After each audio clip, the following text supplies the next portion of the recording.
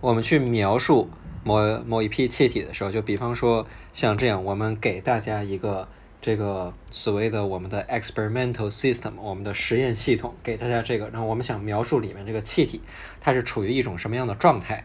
那这个时候呢，我们需要一些参数，对吧？比方说它这个占据了多大的体积，然后再比方说它里面压强多大，再比方说它这个温度多少，里面气体物质的量有多少之类的，大概这些。然后，呃，那么就有科学家做实验，说看看气体它是满足一个什么样的，呃，各个各个这个 parameters 各个参数之间满足什么样的关系。然后，首先有人提出来，这个叫做波义尔。波义尔提出什么呢？提出了波义尔定律。他说呀，这个在温度等于恒定的时候，在 T 等于 constant 的时候，怎么样呢？压强啊，跟 V 分之一是成正比的，或者说压压强跟这个体积是成反比的。那么这个，比方说比例系数是一个 constant，我们管它叫做 constant 一，因为一会儿还有其他的定律，我们会出来其他的这个常数，也就是说是这么一东西，是吧？呃，P 等于 constant，比比上 V，你也可以把它写成叫做 P 乘以 V 等于呃这个 constant，对吧？这是波波义尔定律提的，就是大家想一下，你跟这个呃凭你的直觉来看的话，就是说这东西符不符合你的直觉？是不是说我们这个气体，假如说它今天温度不变，我们暂时也不太能够理解，可能温度不变意味着什么，是吧？但是总之你知道，如果你把气体进行压缩，会怎么样？气体进行压缩，也就是说 V 会减小，对吧？那气体就不干了，气体分子就会这个它们之间碰撞的更剧烈，然后以及跟这个容器壁碰撞的更剧烈，那么这个时候自然压强也就大了，对吧？所以压强这个。压强一大，或者说是你去压它，然后体积就会减小，或者说你体积减小，V 去减小，然后压强就变大。也就是说，它们是这么一个反着来的这样的关系，好像还是挺合理的。所以这是我们的第一个定律。如果画在我们的一个 PV 图上的话，就是我们可以把什么呢？把气体的状态当这个，就是随便给大家一个这实验系统。总之，在这。气体达到稳定的时候，达到平衡的时候，它里面就是会有一定的体积，以及就是会有一定的这个呃压强，对吧？那我们把它此时这个状态这点呢描在图上，比方说此时这个它的压强是这么大，压强是这么大，体积是这么大，是吧？然后呢，我在同样的温度之下给它略微的进行压缩之类的，然后我可能发现它就来到了这里，然后来到了这里，来到了这里之类的是吧？还有可能在这里。然后最终呢，我用光滑曲线一连，我就发现它们基本上来说是这个 P 和 P 和 V 成反比，这个意思，是吧？就是波义耳定律。然后，那在不同的温度下面测，我们会得到什么样的结论呢？比方说这条线是在同一条温度、同一个温度下面测出来的，对吧？如果我增加了温度，会怎么样呢？如果增加了温度的话，这条线整个往上移，但是还是这么一条反比例线，是吧？所以如果说底下这条线是 T 一的话，上面这条线就叫做 T 二，但是 T 二呢是比 T 一来的大的，波义耳定律。好的，那么后来呢又有人提出了叫做什么呢？叫做下面这个定律，呃，它叫做 Charles Charles and Gay Lussac，叫做查尔斯还有盖吕萨克定律。他说什么呢？他说当 P 等于 constant，当压强是恒定的时候，大家说压强是恒定，我们怎么来控制？压强是恒定，那我们现在研究的都是这个平衡状态，对吧？都是平衡状态，就相当于我们控制上面这个重物，它的这质量不变，这意思。P 等于 constant，然后得到我们可以得到一个什么样的关系呢？V 和 T 之间的关系。像这里我们波义耳定律当中是 T 不变，对吧？那我们研究 P 和 V 之间的关系。那下面我们来研究的就是在 P 不变的时候，T 和 V 之间的关系是一个什么样的关系呢？二者成正比，V 等于 constant。二乘以 T 哦，对，有一有一句话忘了说了，就是如果我们用不同的气体做实验，我们会发现，其实在这个波义耳定律当中啊，不同的气体它们这个 constant 怎么样啊？是基本上来说是差不多的，是吧？就是说，无论你比方说用氢气来做实验，还是用氧气来做实验，只要你比方说限制了 T，我们的温度，比如说都是常温二十五摄氏度，那就怎么样？那它们基本上来说，它们的 P 乘以 V 就是等于同一个常数。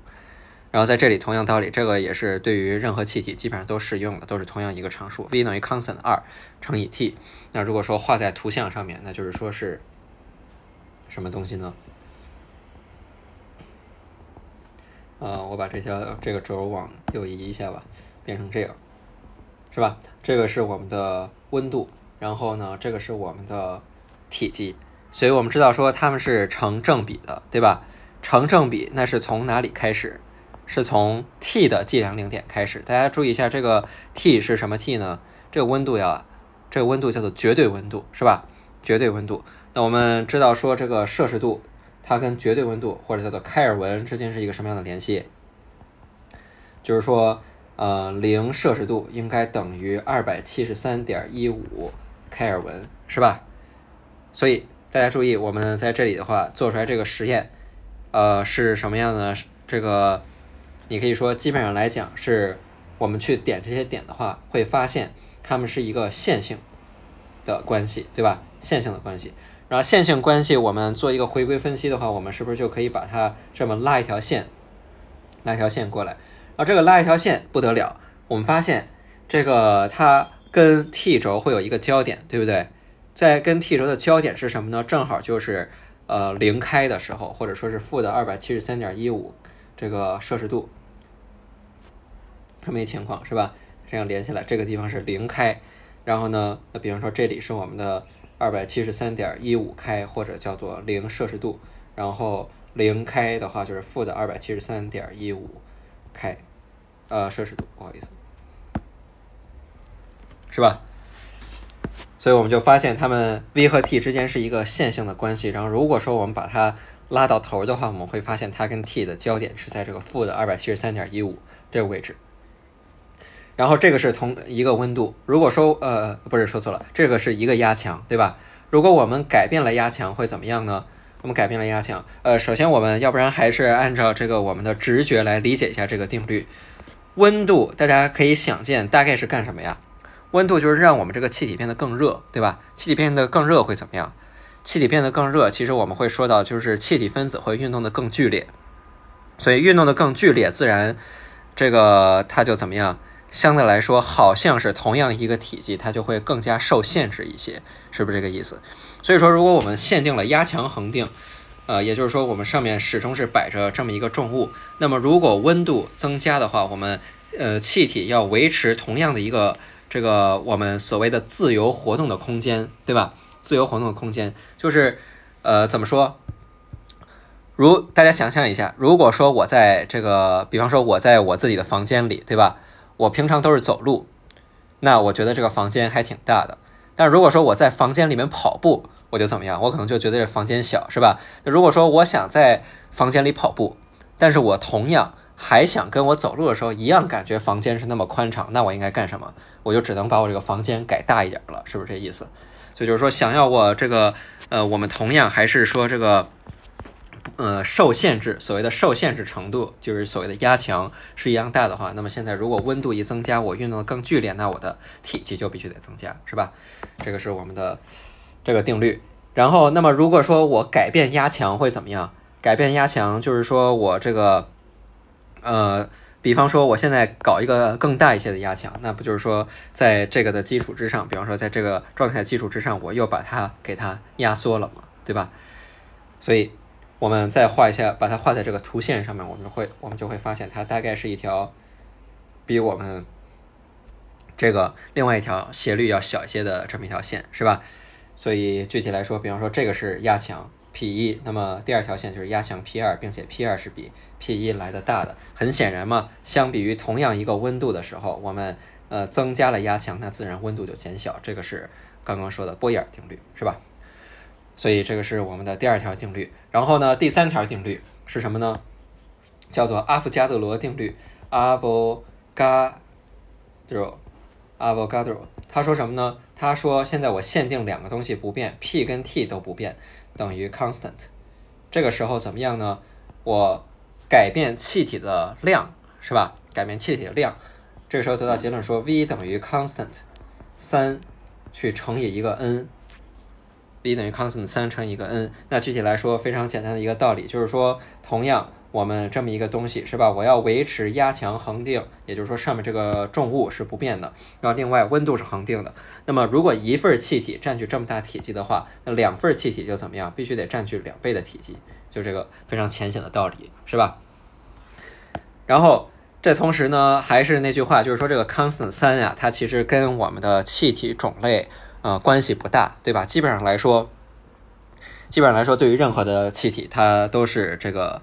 这么一个规律都是一个相同的 constant 三，那么，呃，这个事情可以说明什么呢？如果说我们把等式两边同时除以一个 n，就意味着什么呀？v 比上 n，也就是说是我们用总体积比上摩尔数，那相当于得到的是一摩尔所占据的体积，对吧？所以我们可以管这个东西叫做所谓的摩尔体积，一般用 v，然后脑袋顶上加一个横线 v bar 来表示，是吧？那么。